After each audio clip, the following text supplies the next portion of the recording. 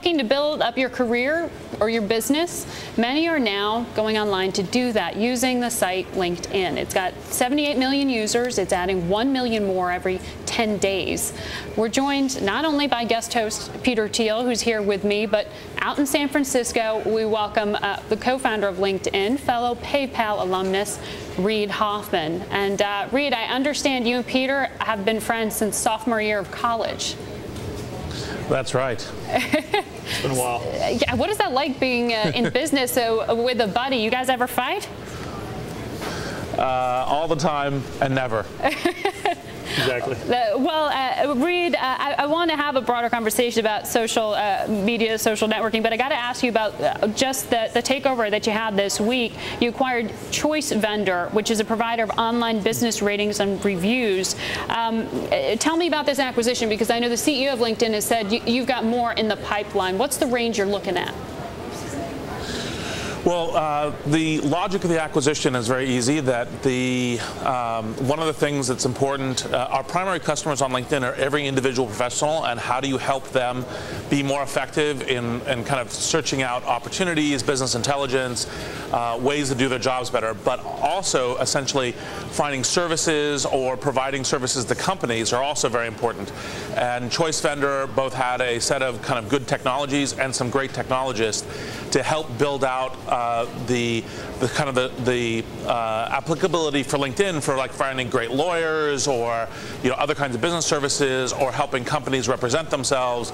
And so uh, that was that was the that, that, was the base logic of the acquisition. Mm-hmm. And uh, the range there, five million dollars and under. I mean, is that kind of the size of the bite you want to take right now?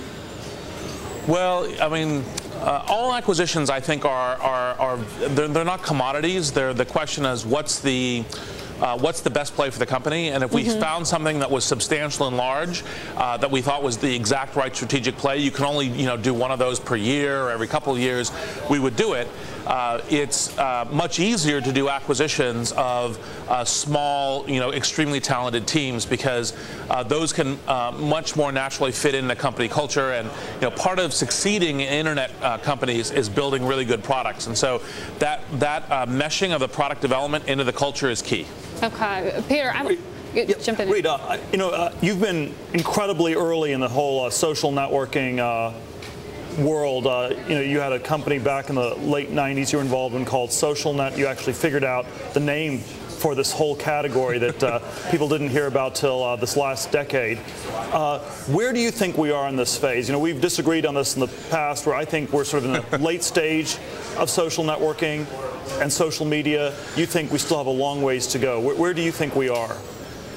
I still think we're in the early stages. Now, um, I mean, part of what I think is interesting is usually when you make predictions of the future, it's sooner and stranger than you think. Mm-hmm. And I actually think that the way the internet is transforming our lives is just beginning. And on the social side, obviously, you know, you have these massive platforms now, Facebook, LinkedIn, uh, you know, and others that are that are that are becoming an essential part of the fabric of how we live and work. Mm-hmm. Uh, but actually, we still have major zones of, of expansion. I mean, consider mobility, right? So the whole notion of presence and locality and all the rest of that uh, you know, obviously, you know, uh, Facebook and LinkedIn will be uh, key parts of this, but I also think that there's now opportunity for new and interesting things. So, for example, one of the investments that I made earlier this year was Shopkick, which is uh, essentially doing location like shopping, right? Mm-hmm. So, like, what happens when you actually meld the whole mobile world into going into retail experience? And these, you know, everyone chops. Uh, the the possibility of doing massive.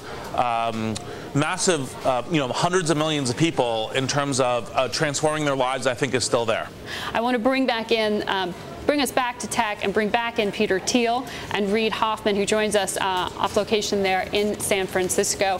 Guys, let's pick this up as we've been talking about social media. You're both prolific investors here, uh, angel investors. There's a big debate out there about the size of deals getting done and whether there is perhaps some collusion or whether there is some sort of pushback to uh, get seed deals to be smaller. Is there a bubble out there, Reid?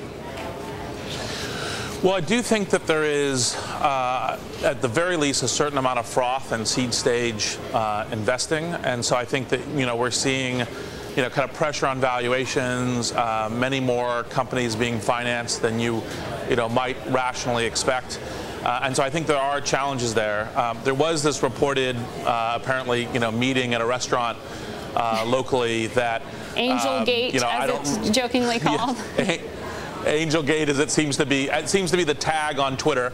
uh, but I, I, I, wasn't there, so um, you know, I, I'm only reading the same things that you're reading. yeah, Reid, I wasn't there either. Uh, I think the, uh, I think one of the questions in investing is you always want to be both fundamental and contrarian, and there's a fundamental case that. Uh, the internet keeps growing and it expands to mobile technologies and so on. But what I don't see is what part of this is contrarian. I think it was very contrarian to be bullish on the internet 2002 to 2006 or 2007. Uh, it's much harder for me to see what part of this is not understood by a lot of people. And that's, uh, that's why uh, we've pulled back quite a bit on our incremental internet investing over the last yep. year or two. Well, I think the key thing, I do think, I agree with your general thesis about fundamental and contrarian, although remember when um, KP and Sequoia did Google, you know, it was a very hot deal with hot buzz in the valley. And there are, if you're selective, and you understand what the what the fundamental trends are and and the the essentially the category dominator in that trend that can still be very valuable even if a lot of people think oh well you know this space is you know the space is very heated or anything else so um, I would say that kind of my and you know our approach, since I you know work at Greylock now, is uh, is fundamentally to say, look, let's be very choiceful about what are the things that essentially get large in a category, and ignore the the kind of the local effects of whether or not there's mm -hmm. you know uh, a bubble or a bubblehead or froth or or those sorts of things, and just be you know uh, extremely diligent about like this is something that could actually be a platform, a network, um, you know, a, a, a, marketplace of substantial size. Um, to both of you gentlemen, I want to ask a question. I spoke to Cisco CEO John Chambers earlier today, and he says he truly believes that the next wave of innovation in tech is going to come uh, from the consumer uh, via the internet. That that's where the innovation push is going to come from. Then you talk to others who say it's going to be Apple and those who create the actual tools for consumption that are, are changing uh, the patterns of social media and the rest of technology. Who's leading who here? I, I, tend to think it's, it's, it's, it's, it's, it's often not a good thing to think of this in terms of trends. I think it is best to think of it in terms of incredible companies that are built because every new company that's really valuable does something unique. Um, you know, you don't want to be operating a commodity business where you're doing the same thing as 20 other people are doing. By the time something is a well-known trend, I think uh, it's uh, it's not that great an investment.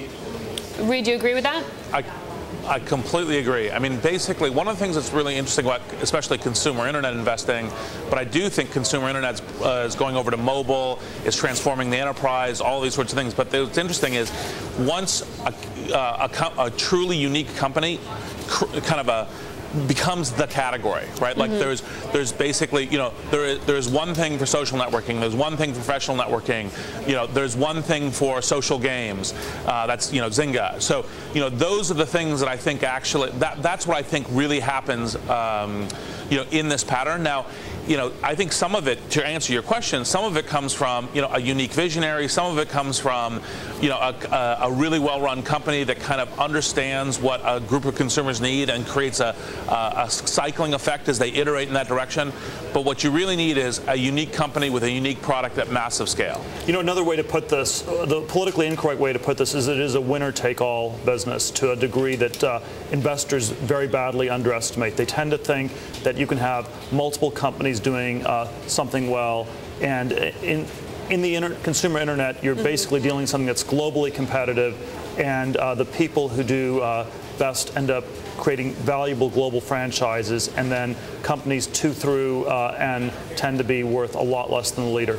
Reid, quick question to you before um, uh, we sign off here. I, I want to ask you the trend I hear from private equity and from other VC guys out there is that the IPO is just not the choice way to monetize an asset right now. You mentioned you're at Greylock. Do you agree with that?